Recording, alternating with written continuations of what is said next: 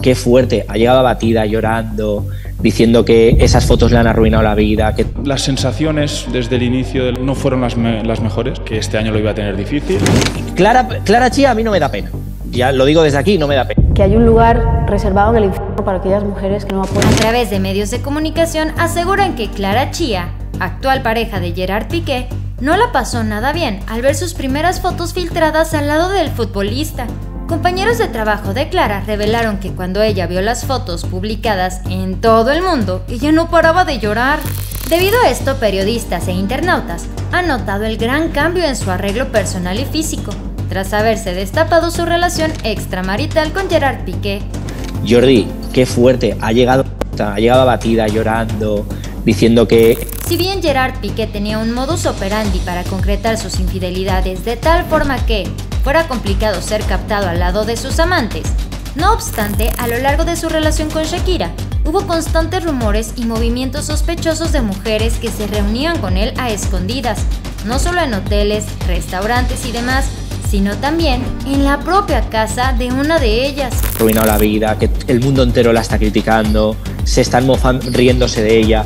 En cuanto a Clara Chía, quien reveló por primera vez la identidad de la joven amante del exjugador catalán, fue el paparazzi Jordi Martin, quien tiene más de 10 años siguiendo a Piqué, a Shakira y ahora a la joven de veintitantos años. Dicho paparazzi fue quien filtró las primeras fotos de Clara, que a juzgar por Martin, no ponía mucho empeño en su arreglo personal. Yo como soy pro Shakira y, amo a Shakira, oye, que se aguante, eh, ella, ella ha decidido meterse dentro. Las primeras fotos que captó el paparazzi de la actual novia del exjugador no fueron del agrado de la joven, quien según compañeros de trabajo declara, ella la pasó extremadamente mal y no paraba de llorar, sobre todo al haber visto cómo lucía en dichas fotos. Ostras, la cabeza de una chica de 23 años puede petar, como petó Clara, que ha estado en un centro médico y tal. Las fotos en cuestión son aquellas en las que la pareja hizo una de sus primeras apariciones públicas. En esa ocasión, Piqué acudió a una boda acompañado de Clara. El catalán lucía un traje azul oscuro y camisa blanca sin corbata, mientras que la joven lucía un vestido largo de rayas verticales que también hacían que su pancita se viera algo abultada. Clara, Clara Chía a mí no me da pena, ya lo digo desde aquí, no me da pena. Pero en otro tipo de personas, pues sí. Cuenta Jordi Martin que Clara Chía lloró cuando vio cómo lucían esas fotos. Según reveló uno de sus compañeros de trabajo de la empresa Cosmos, la joven se sintió expuesta, pues no lucía precisamente bien, se le notaba la panza y su aspecto era algo descuidado y quizá no era el mejor atuendo ni la mejor versión de ella para una boda.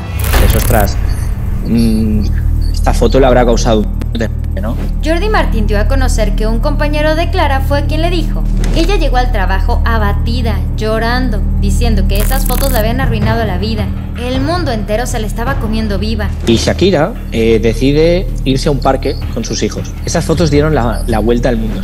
Desde que se destapó la infidelidad de Clara como la amante de Piqué, periodistas e internautas han notado que ella sí ha hecho varios cambios en su apariencia y arreglo personal. Los hijos lo han pasado mal, los hijos lo han pasado mal.